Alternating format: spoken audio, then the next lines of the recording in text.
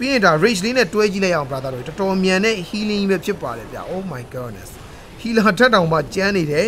Druid new to အသစ်ကလေးပဲဖြစ်ပါတယ် Hello အားလုံးပဲမင်္ဂလာပါကိုပေါ့ YouTube channel လေးကနေပြီးတော့ပြန်လည်ကြိုဆိုလိုက်ပါတယ်ဗျဒီနေ့ဗီဒီယိုလေးကတော့ upgrade ဘယ်တော့ထွက်မှာလဲရပြီးတော့ရင် upgrade နဲ့အတူပါဝင်လာတဲ့ true အသစ်အကြောင်းအသေးစိတ်ရှင်းပြပေးတော့မှာပဲဖြစ်ပါတယ်ဗျဗီဒီယိုလေးမစခင်မှာကိုပေါ့ YouTube channel လေးကို subscribe မလုပ်အရင် subscribe နေပြီးတော့မှဝင်ရန်ပေးပါဦး subscribe လုပ်ပြီးတဲ့ညီကိုလေးတယောက်ရှိနေအောင်လဲကျေးဇူးအများကြီးတင်ပါတယ်ကဲတော့ let's go ပတ်သက်ကျွန်တော်တို့အရှိမဆွဲပဲတဲ့ဗီဒီယိုလေးကိုစလိုက်ကြအောင်ဗျအလုပ်သမားတစ်လေးကတောင်းဝတ်30ကနေပြီးတော့မှစပြီးတော့ရရှိမှာပဲဖြစ်ပါတယ်ဗျတောင်းဝတ်နိုင်ရ brother တွေကတော့ဒီအလုပ်သမားတစ်လေးကိုရရှိအောင်မှာတော့မဟုတ်ပါဘူးဗျတောင်းဝတ်30မှာဆိုလို့ရှိရင်တော့ level 2ထိပဲ upgrade လုပ်လို့ရမှာပဲဖြစ်ပါတယ် level 2ကို upgrade တင်မယ်ဆိုလို့ရှိရင်တော့ကျန်900ပဲကြားတင်မှာပဲဖြစ်ပါတယ် town hall 7မှာဆိုလို့ရှိရင်တော့ဒီအလုပ်သမားလေးကို level 40 upgrade လုပ်လို့ရမှာပဲဖြစ်ပါတယ်ဗျ town hall level 7မှာဆိုလို့ရှိရင်တော့ level 60 upgrade လုပ်လို့ရမှာပဲဖြစ်ပါတယ် town hall 73မှာဆိုလို့ရှိရင်တော့ဒါလေးကို level 70 upgrade လုပ်လို့ရမှာဖြစ်ပြီးတော့ town hall 14ကနေပြီးတော့16ထိကတော့ level match level 80 upgrade လုပ်လို့ရမှာပဲဖြစ်ပါတယ်ဗျ true သေးရဲ့နာမည်လေးကတော့ druid လို့ခေါ်ပါတယ်သူကတော့ town hall level 14ကနေပြီးတော့စပြီးတော့ရမှာပဲဖြစ်ပါတယ်ဗျဒီကောင်လေးကို upgrade လုပ်မယ်ဆိုလို့ရှိရင်တော့ upgrade time ကတော့73ရက်ကြာမှာပဲဖြစ်ပါတယ်ကုန်ကြမဲ့ကုန်ကြစရိတ်ကတော့ကျွန်တော်14 million ပဲဖြစ်ပါတယ်ဗျ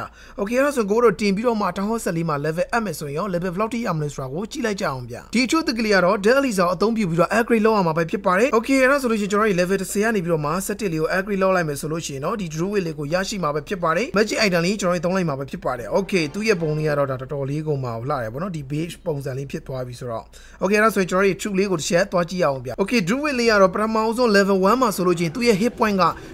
1300ရှိတာပဲဖြစ်ပါတယ်ဗျပြီးွားရင်တော့သူ့ရဲ့ healing ပေးတဲ့ဟာကြတော့130နဲ့မှ healing ပေးတာပဲဖြစ်ပါတယ်သူကတော့သွေးတွေကိုပြန်ပြီးတော့မှဖြည့်ပေးတာဖြစ်ပါတယ်ကျွန်တော် healer လိုပုံစံမျိုးပါပဲဒါပေမဲ့ဒီကောင်ကကျတော့ပို့ပြီးတော့မှကြမ်းတယ်သူကအပေါ်အောက်ကော air ground နှစ်ခုလုံးကိုကျွန်တော် healing ပေးလို့ရတာပဲဖြစ်ပါတယ်ဗျသူက healing ပေးနေတဲ့အချိန်မှာဆိုလို့ရှိရင်အပေါ်ကအပြာတန်းလေးကတဖြည်းဖြည်းနဲ့ကျွန်တော်ကုံသွားပြီဆိုတာနဲ့ဝက်ဝင်လေးပြောင်းလဲပြီးတော့မှထွက်လာမှာပဲဖြစ်ပါတယ်ဗျဒါလေးကတော်တော်လေးမိုက်တယ်ဝက်ဝင်ပြောင်းသွားတဲ့အချိန်မှာဆိုလို့ရှိရင်တော့ဒါသူကတော့ healing ပေးတော့မှမဟုတ်ဘဲနဲ့ defender only ကိုလိုက်ပြီးတော့မှ damage တွေပေးတော့မှာပဲဖြစ်ပါတယ်ဗျ။ဝက်ဝင်က level 1ဆိုလို့ရှိရင်သူ့ရဲ့ hit point က3000နဲ့မှ800ရှိပြီးတော့မှ damage ကတော့150ထွက်တာပဲဖြစ်ပါတယ်ဗျ။ဒီကောင်ကိုဘယ်လိုနေရာမျိုးမှာသုံးလို့ကောင်းလဲဆိုလို့ရှိရင်တော့ရှေ့ကနေပြီးတော့ root rider တွေပြေးနောက်ကနေပြီးတော့ဒီ druid လေးနဲ့လိုက်မယ်ဆိုလို့ရှိရင်တော့ဒါ wall တွေလည်းကျိုးပြီးသွားပြီပြီးတော့ကျွန်တော် healing ကုန်သွားပြီဆိုလို့ရှိရင်လည်းနောက်ကဝက်ဝင်လေးတွေထွက်လာမအောင်ဆိုလို့ရှိရင်တော့တော်တော်လေးကောင်းမဲ့အနေထားလေးရဲ့ attacking ဘိုင်းမှာတော်တော်လေးကိုကျန်းသွားမှာပဲဖြစ်ပါတယ်ဗျ။ပထမဦးဆုံး level 1ကနေပြီးတော့မှ level 2ကိုတင်မယ်ဆိုလို့ရှိရင်တော့ daily စာ2သိန်းခွဲကြားတင်မှာပဲဖြစ်ပါတယ်။သူ့ရဲ့ကြာချိန်ကတော့12ရက်ဖြစ်ပါတယ်ဗျ။ Okay let's go brother တော့ကျွန်တော်တို့စပြီးတော့မှအဲ့ကြည့်လိုက်ရအောင်ဗျ။ level 2မှာဆိုလို့ရှိရင်တော့သူ့ရဲ့ hit point က1000ထဲမှာ400ဖြစ်သွားပြီးတော့မှ healing ကတော့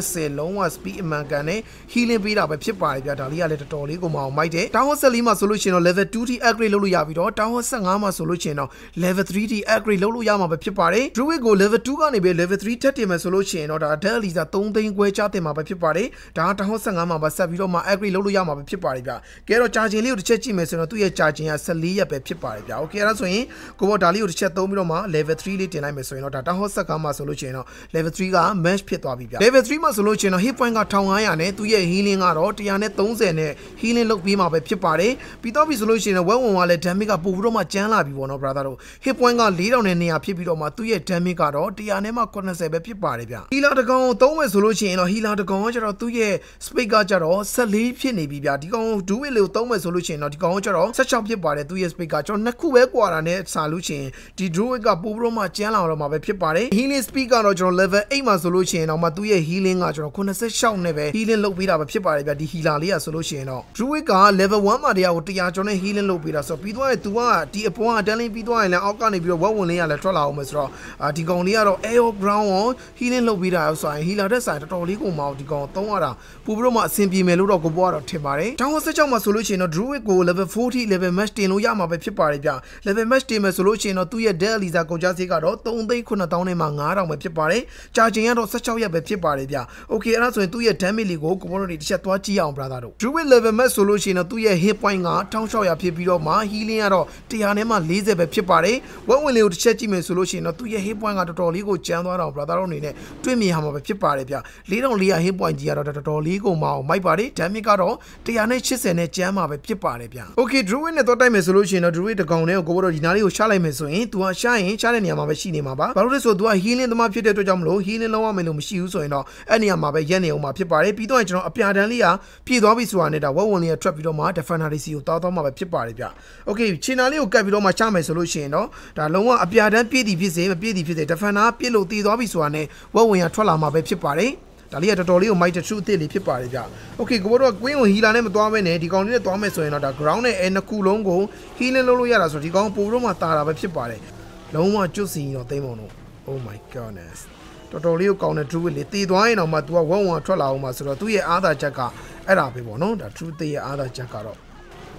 healing လည်းလုပ်လို့ရတယ်ပြီးတော့ကျွန်တော် defender တွေကိုလည်းဒီတိုင်းတက်လို့ရတယ်ဆိုတော့တော်တော်လေးကိုမအောင်မိုက်တယ်ဗျဒီ upgrade လေးကဘေးရှင်မှာထွက်ရှိမှလဲဆိုလို့ရှိရင်တော့မနေ့ပြန်တဲ့တပတ်ကအဲ့ဒီနေရတရတရရက်မှာထွက်ရှိမှာပဲဖြစ်ပါတယ်ဗျဒီ tagin ဆိုလို့ရှိရင်တော့အရင်တော့ root writer wiki ground tagin လေးပဲဖြစ်ပါတယ်ဗျဒါလေးကမှကိုဘောတို့ကနည်းငယ်လေး true လေးတွေထုတ်ပြီးတော့မှ druid လေးကိုထည့်ပြီးတော့မှသုံးကြည့်မှာပဲဖြစ်ပါတယ် druid ကတော့ကိုဘောထည့်ထားတာအားလုံးပေါင်း short ကောင်ပါမှာပဲဖြစ်ပါတယ်ဗျကဲတော့ကျွန်တော်စပြီးတော့မှ try ကြည့်အောင်ဗျ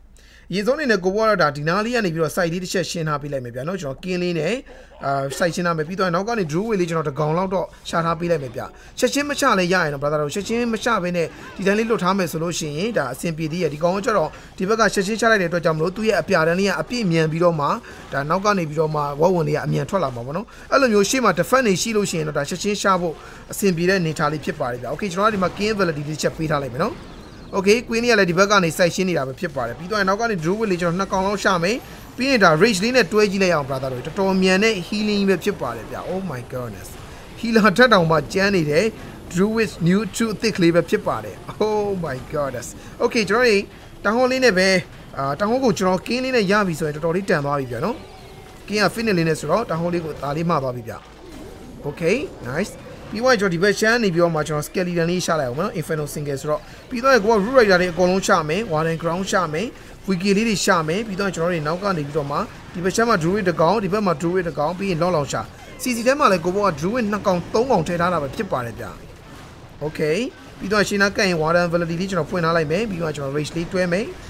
ဒီဘက်မှာကြည့်လိုက်ပါအောင်သိမ်းပါတော့ queen ကလုံးဝ druid လေးနဲ့အဆင်ပြေနေတာပဲဖြစ်ပါတယ် Okay ကျွန်တော်ဒီမှာ skeleton လေးဒီဘက်မှာတစ်လုံးချမယ်ဒီဘက်ရှမ်းမှာတစ်လုံးချထားမယ် nice ဒါ CCD ကထွက်လာတဲ့ druid ကလည်း queen အောင်သွားအောင်ပါနော် brother တို့အာကျွန်တော်အကြိုင်းမစောင့်နေပဲနဲ့ဒီလောလောချာကိုဖွင့်ချလိုက်တော့မယ် fast ပြီးတော့ကျွန်တော် rage လေးတစ်လုံးချလိုက်မယ် queen လေးနောက်လုံးဝ perfect ဖြစ်သွားပြီ brother တို့ okay skeleton လေးတစ်လုံးချမယ် nice ပြီးတော့ကျွန်တော် freezing လေးဒီဘက်ရှမ်းမှာအုပ်ထားပေးလိုက်အောင်မယ်ဗျ queen လေးကိုတစ်ချက်ကြည့်လိုက်ပါအောင်သိမ်းပါအောင် လို့လုံးဝ druid တွေနဲ့ share heal လေးနေတာကြီးကတော်တော်လေးပုံပေါင်းမိုက်တယ်ဒါ site ချင်းဖို့ကျွန်တော် minion လေးလည်းပါသေးတယ်နော်နောက်ကနေရှာလိုက်လို့ရရတယ်ဒါပေမဲ့ wiki လေးတွေက ground site ရှင်းတာတော်တော်လေးပြီးဆုံးသွားပြီဆိုတော့ minion တွေကရှာဖို့မလိုတော့ဘူး brother တို့ပြီးသွားရင်ကျွန်တော် YN champion ကြီးကလည်းရှာဖို့အောင်မလိုတော့ဘူးဗျဒါတော်တော်လေးကျန်းလာမယ် attacking လေးတွေကကိုဘောတော့ထင်နေပြီဗျပြီးသွားရင်ကျွန်တော် druid တွေကိုများ damage တွေပြန်ပြီးတော့မှ short အောင်မလားဒါမှမဟုတ်ကျွန်တော် hit point တွေပြန် short အောင်မလားဆိုတာတော့မသိဘူးပေါ့နော်ဒါ ကိုဘောကတော့ root rider attacking ကို true အနေငယ်အပြောင်းလဲလေးလို့ပြောမှတိုက်ကြည့်လိုက်တာပဲဖြစ်ပါတယ်ဗျဒါတော့မှတော်တော်လေးကိုကြမ်းထော်နေပြီ oh my goodness bro okay ရောမှာ wire champion validity နဲ့အမြန်ပြီးလိုက်တော့ Rider နဲ့ Druid နဲ့ Wiki နဲ့တွဲလိုက်တော့ဘာမှပြောစရာမလိုတော့ဘူး brother တို့ရေတော်တော်လေးကိုမှပြီးပြည့်စုံနေပဲဖြစ်ပါတယ်။ Okay ဒီနေ့ဗီဒီယိုလေးကဒီလောက်ပါပဲဗီဒီယိုလေးကို Sony TV နဲ့ဘာသာရေးတယောက်ချင်းတောင်ကျေးဇူးအများကြီးတင်ပါတယ်။ Druid အနေနဲ့ပတ်သက်တဲ့ဗီဒီယိုလေးကိုလည်းကျွန်တော်နောက်နေ့ကျရင်တင်ပေးအောင်မှာဖြစ်လို့ကျွန်တော်ရဲ့ channel လေးကို subscribe လုပ်ပြီးတော့မှစောင့်ကြည့်လို့ရပါတယ်ဗျ။အားလုံးပဲကျွန်တော်ရဲ့နောက်ဗီဒီယိုကြမှာပြန်တွေ့ပါမယ်။အားလုံးပဲ bye bye ပါဗျ။